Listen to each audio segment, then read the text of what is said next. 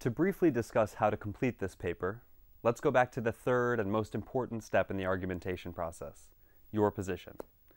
As I mentioned earlier, what's most important is that your voice guides the argument. Here, you made some claims that follow a natural progression. They are 1. That the debate over slavery was more than just a humanistic and moralistic debate. 2. That slavery was a major economic factor, especially in the southern states. And 3.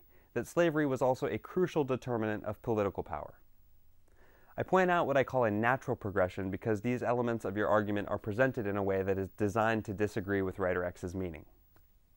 There are many different ways to use these elements, but one tried and true method is to speak to each element in the order you originally presented it. By doing this, you create a more convincing argument because your reader encounters the development of your thinking along a line that you've already given them in your original statement or thesis. Remember, writer X said that the American Civil War was caused by the moral and humanistic debate over slavery. And you explained that while the moral and humanistic debate was clearly significant, X's assertion implies that the debate over slavery was not economic or political. To set yourself up to say that, the debate over slavery was more than just a humanistic and moralistic debate. Slavery represented a major economic factor in the young American nation, especially in the southern states, it was also a crucial determinant of political power, as representation in the House of Representatives was directly influenced by the size of the slave population in each state. Essentially, you and Writer X agree that slavery was one of the primary causes of the American Civil War.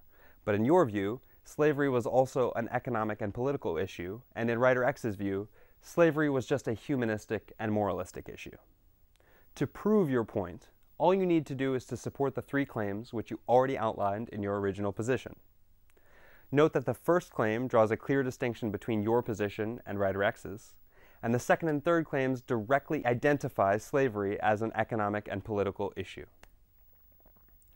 Now, just explain each claim and support it with evidence. This evidence should come from other sources or voices, either critical voices or, even better, directly from historical evidence. As with your core argument or thesis, your thinking should drive your writing. But, as with your original argument, using other voices to support your thinking is the best way to write. For example, in support of your second claim, you could cite information about how slave labor was a significant factor in the agricultural production of the pre-war South. Or, in support of your third claim, you could point out that the Three-Fifths Compromise in the Constitution directly related the size of a state's slave population to its political power in Congress.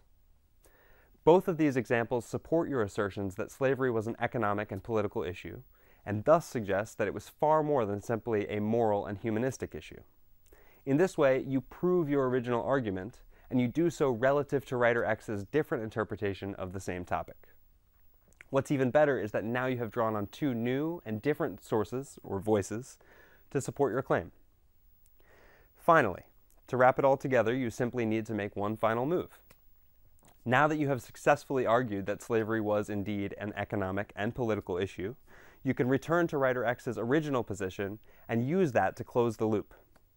Remember that you identified that writer X said the American Civil War was caused by moral and humanistic debate over slavery.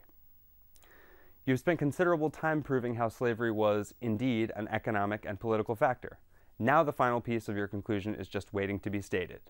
That is, slavery was undoubtedly a central piece of the economic and political conflict that caused the American Civil War. And that's it. It's simple enough. If you're able to identify another voice in the conversation, you can use it to define your own.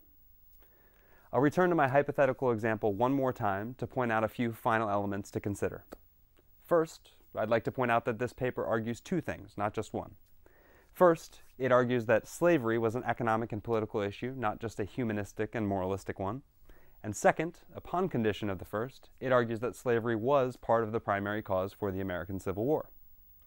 These ideas are tightly related.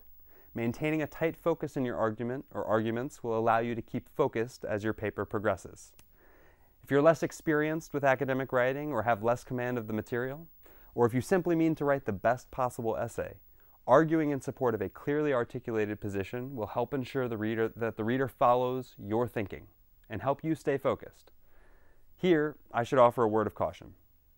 As an academic writer, the merits of your thinking are judged almost exclusively on the merits of what you write. You may be very passionate about an issue, but passion does not stand in for persuasion. Argumentation in academic writing is a bit of a balancing act between making your case and considering the arguments of others. And remember, your position will always be stronger if you can demonstrate to your reader why it is so with clear, well articulated examples. Happy writing!